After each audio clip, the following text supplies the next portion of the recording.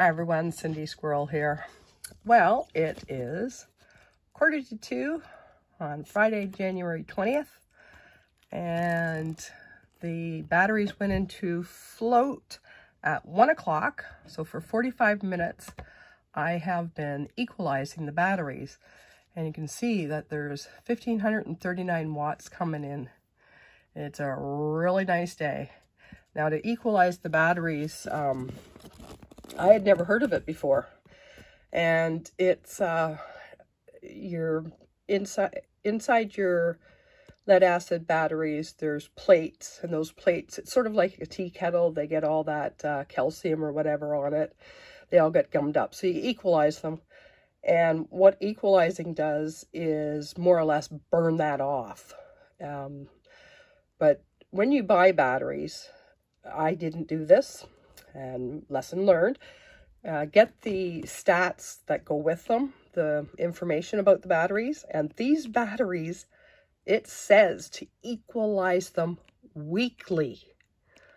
And if you don't do as they say, you'll notice by the end of the week, you don't hold your charge overnight. Um, so you have to equalize them to get better performance out of them. But it's a nice sunny day today, and I've got a few chores I want to do. I did a load of laundry this morning, and you can see that my tote is getting sort of empty. And I have marked, if the water was up to there, it would be one minute. If it was down to there, it's six minutes.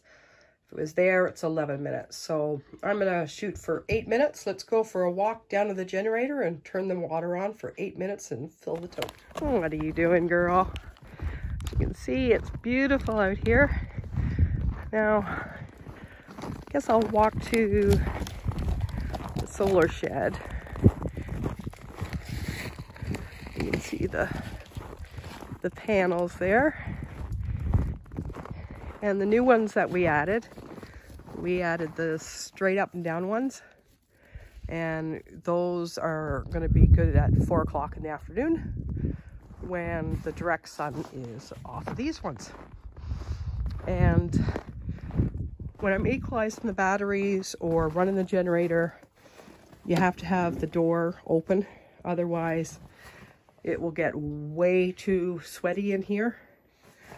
And uh, I always crack the lid on the batteries.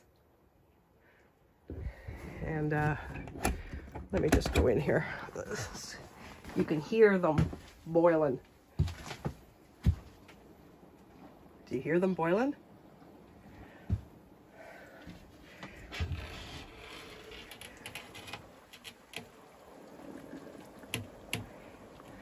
Hear them gurgling away, cleaning off all their plates. And it says the equalize is pending, which means it's on. And uh, yeah.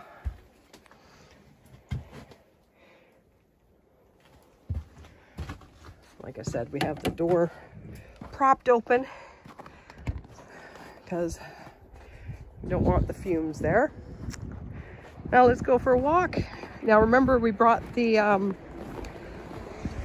the generator a lot closer so I don't have to go for quite the walk. I just have to go over there a little bit. Where are you, girl? You've left me. Oh, well, let's see now. Are any of these tracks fresh?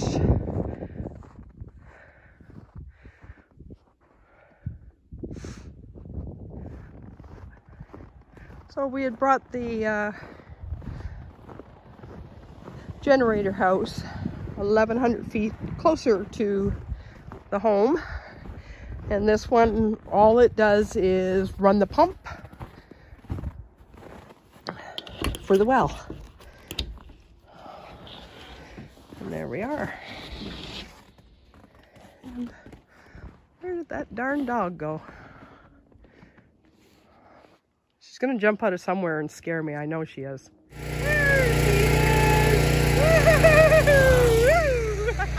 Where were you? Where were you?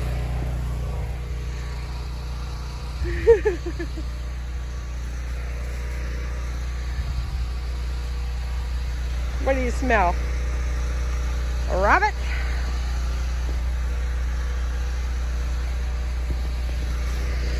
So I set the timer for eight minutes.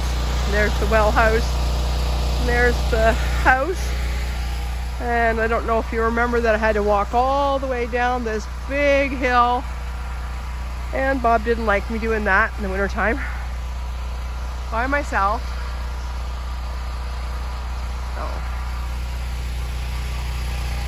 So, just a beautiful day. Bob has it set up here that it's always plugged in. And you're not supposed to turn a generator on with a load on it. So use the breaker. So the breaker, he put a red mark and a green mark for me. So it's down, which is off.